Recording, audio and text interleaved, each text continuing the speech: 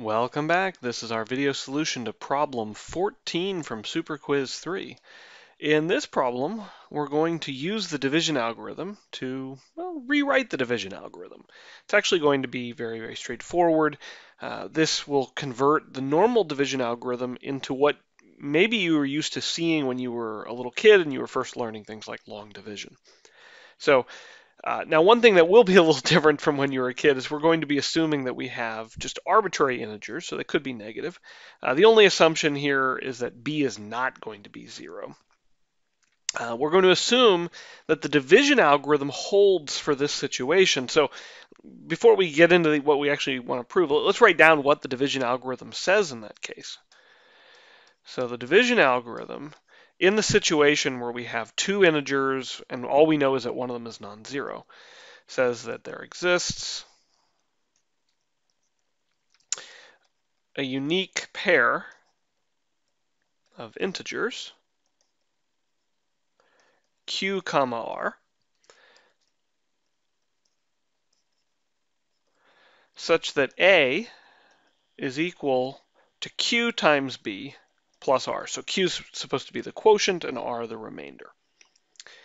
And there's an extra condition on r,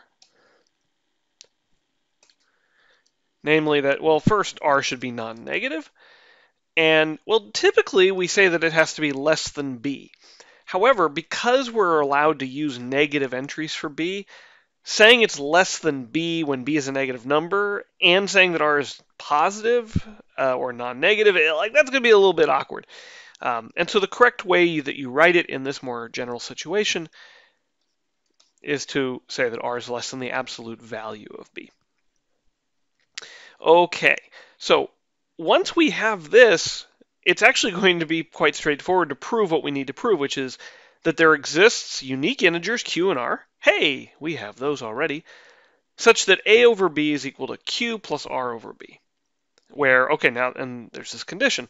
Well, because we have the unique pair q and r such that a is equal to qb plus r, well, what do we have? Well, let's just divide everything by b, which, by the way, because b is non-zero, that makes sense. So thus, a over b is equal to q plus r over b. Right? And this is this is if and only if, right? Like if you had this equation, you had some pair, well then of course you could multiply through by b and you'd get the equation up above. So if you could find a different pair q and r down below, you'd get a different pair q and r up above. So the uniqueness is not going to be a problem here. So we've already found this equation. Now we just need to make sure that this inequality holds.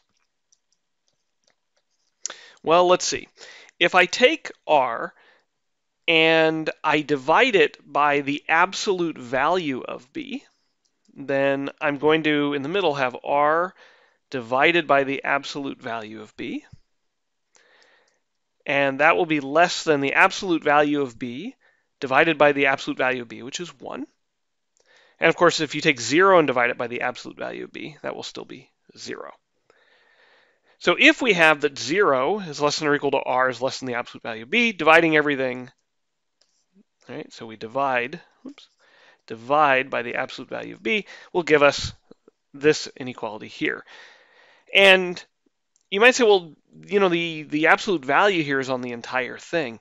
But because we know r is greater than or equal to 0, then r is equal to the absolute value of r because r is at least 0. So we could, if we want, rewrite this as the absolute value of r over b. Okay, that's all there is to it. Write down our under, you know, our definition for the division algorithm in this general situation, divide by b, or the absolute value of b, and you get the result.